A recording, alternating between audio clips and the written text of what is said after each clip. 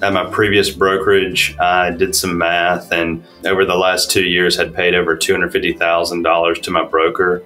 And knowing that I, at Keller Williams, I'd have a cap and I could be able to use that additional money that I'd be retaining to either grow a team or to uh, expand my business was just huge for me. I pay attention to stats here in our local MLS and I would see either older agents that have been in the business for a while move to Keller Williams or new agents starting off at Keller Williams and their business would just explode. I knew that there had to be a secret to why they were being so much more successful than I was. And so I wanted to tap into that resource and um, make my business explode like theirs. Having those tools and resources at Keller Williams is, you know, a, a great asset for my for my business moving forward.